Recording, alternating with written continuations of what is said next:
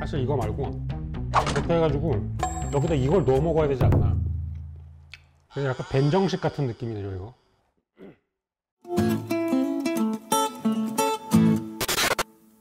자 그래서 오늘 리뷰하는 거는 얘는 버거킹에서 새로 나온 제품이라는데 이거 예전에 한번 나오지 않았나? 그죠? 리뉴얼 제품인가? 개인적으로는 버거킹을 좋아하는데 버거를 두 개를 시켰어요 하나는 비프 패티 버거고 하나는 치킨 패티 버거 치킨 샌드위치 하나는 와퍼. 와퍼 안에 지금 토핑으로 치즈가 들어간 거죠? 어, 이게 치즈렐라 치킨 버거? 이제 어 뭐야 이렇게 포장이 고급져? 뭐지 왜 이렇게 고급지게 늘어나 이게 지금 여기시 빨간색이에요. 포장 뜯고 찍으라고? 좋은 생각이야? UFO 보다가 버거킹 보니 눈 씻은 느낌. 아 그거는 좀 선 넘었다 그죠? 근데 이게 더 비싸 훨씬 더 비싸 얘 얼마야?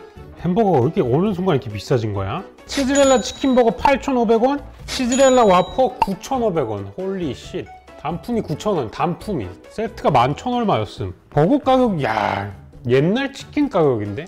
제가 어렸을 때 그 라떼는 시절에 운동회 같은 데 가면은 이런 치킨이 이렇게 수북히 올라와 있어가지고 박스에 은박지로 막 덮어 쌓여 있고 고무줄로 막 칭칭 감아가지고 그런 거 알아요 여러분? 굉장히 옛날 스타일의 양념치킨. 뭔지 알죠? 이만큼씩 올라와가지고. 그게 6천 얼마였거든요? 근데 이제는 버거가 그 가격이네요 정말 늙었다 그죠? 사실 저는 이게 제일 먹고 싶었어요. 제가 너겟을 되게 좋아하는데 맥너겟 많이 먹었잖아요. 근데 요게 지금 매운맛. 안에 보면 이렇게 약간 좀 녹색녹색한 게 보일 거예요. 그죠? 조그맣게 박힌 거. 음, 이게 이제 청양고추랍니다. 좀 매운맛이 나네요. 그냥 매운맛 나는 너겟입니다. 어 맨날 그지 같은 것만 먹다가 이거 먹으니까 맛있다 야. 뭐부터 먹을까요? 저는 개인적으로 치킨버거도 좋아하고 와퍼는 너무너무 사랑하고 요거는 치즈렐라 와퍼 치즈렐라 치킨 샌드위치 치킨버거. 와퍼는 끝판왕이니까 좀 남, 남겨놔야 되지 않을까? 그리고 얘 안에 좀 시뻘건 게 들어있어가지고 뭔지 잘 모르겠어. 그러니까 무난해 보이는 것부터 먹어보겠습니다. 그러니까 안에 보시면 얘가 뭐가 특징이냐면 이게 모짜렐라 패티 안에 이제 모짜렐라가 들어있는데 사실 모짜렐라는 안에 이렇게 하얀 한 줄이 있고 그 외에는 튀김 옷이네요. 이렇게 분해하면 합치기가 힘든데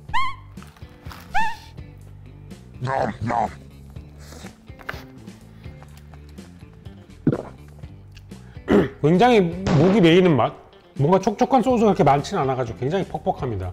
우선은 생각보다 불고기 소스 같은 게 있어가지고 이게 좀 세지 않을까 생각했는데 이걸 먹고 나서 입안에 제일 많이 남아있는 향은 의외로 치즈 향이다. 모짜렐라랑 이 치즈 패티의 겉에 뿌려져 있는 이런 파슬리라던가 이런 맛이다 그리고 제가 올해 먹었던 햄버거 중에 제일 퍽퍽하다. 퍽퍽킹이네 퍽퍽킹. 보시면 아시겠지만 여기 치즈 패티가 그 튀김 옷만 조금 두꺼워가지고 별 맛이 안 날까 생각했는데 생각보다 이 모짜렐라 향이 괜찮습니다. 입안에 좀 모짜렐라 치즈버거를 먹는 느낌이 좀 남아있고 치킨 패티는 의외로 자기 주장이 별로 강하지가 않아요. 그래서 이거는 치킨 버거라기보다는 약간 모짜렐라 버거 같은 느낌이에요. 치킨은 여기서 맛이 아니라 퍽퍽함을 담당한다 이게 저 같은 사람은 먹을 수 있는데 여러분 약간 일반적인 취향으로는 좀 많이 퍽퍽하기 때문에 음료가 필요하다. 저는 아주 좋았다. 그럼 이제 그 와퍼를 좀 먹어볼 건데 어 여기 베이컨도 있네. 9,500원짜리니까 아무래도 가격 대비 좋은 것들은 다 넣어야 되지 않았나 생각합니다.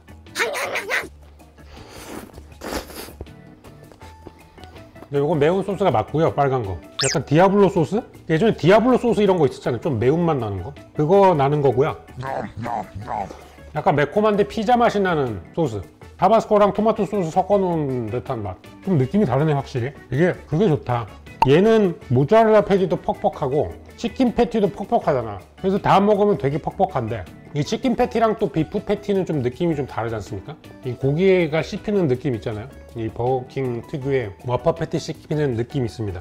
그래가지고 좀 맛이 다른데 사실 이거 말고 이렇게 해가지고 여기다 이걸 넣어 먹어야 되지 않나? 라는 생각이 이제 급격하게 들었다. 약간 벤정식 같은 느낌이죠 이거. 코리안 벤정식. 어? 이거를 패티로 만들어서 앵그리 치킨 버거로 하는 게 맛있겠는데? 패티를 그냥 치킨 패티로 하지 말고 이거를 이걸로 만들어서 앵그리 치킨 버거. 어, 이거는 또 느낌이 좀 다르다 이 안에 있는 청양고추가 전반적인 이 느끼함을 잡아주네. 이거 이거 좋다. 이거 약간 좀 약간 그 내슈빌 치킨 느낌도 나고 고추 향이랑 패티랑 잘 어울린다. 이게 맛있는 이유가 뭔지 알아요 여러분?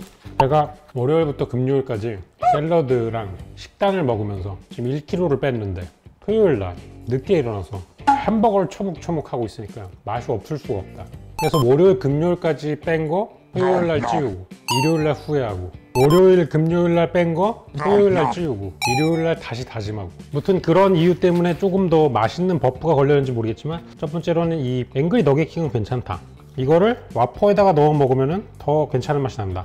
얘는 퍽퍽함의 정수이다. 버거킹 메뉴 중에 몬스터 X 이런 거 있죠. 별로 좋아하지 않아요. 왜냐면 너무 여러 가지 재료들이 한꺼번에 섞여져 있는데 심지어 거기에다가 되게 소스가 강해가지고 되게 잔맛이 막 섞여져 있는 것 같아 그래가지고 조금 별로거든. 근데 얘는 예선까지는 뭐냐면은 버거킹 패티 향이 느껴진다가 좋은 포인트다. 왜냐하면 버거킹은 패티 향이 느껴지지 않으면 좀 가치가 떨어진다고 봅니다 저는.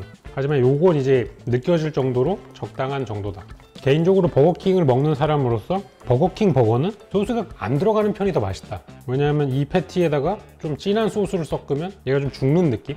그러니까 스스로 너프를 하고 싸우는 느낌입니다. 아무튼 이러면 또 이제 다른 햄버거를 좋아하시는 분들이 뭐 여러 가지 의견을 펼칠 수 있겠지만 뭐 어쩌겠어요. 저는 이제 버거킹을 좋아합니다. 예전에 맘스터치를 좋아했었는데 맘스터치가 어느 순간부터 더 이상 좋아지지 않게 됐어요. 뭐 여러분도 뭐 다 아실 수 있겠죠? 왠지에 대해서는 그렇게 깊이 얘기하지 않겠습니다 버거킹은 감튀는 조금 타 브랜드에 비해서 좀 아쉬운 점은 있다. 이 두꺼운 거를 선호하는 사람도 있는데 패스트푸드는 shoestring이 훨씬 더 인기가 많아. 전 세계적인 통계입니다. 근데 너무 저염이네. 감튀를 먹으면서 누가 건강을 어? 따집니까? 그렇지 않습니까? 감튀는 짜야 돼. 아주 그냥 짜가지고 손에 아주 소름이 돋을 정도 이렇게 소금이 묻어 있어야 되는데 이 해방감을 느끼려고 먹는 거 아닙니까? 아 기름에 튀긴 감자. 그러려고 먹는 건데 무슨 감자 옹심이 먹는 것 같아요. 감튀가 좀 아쉽네요.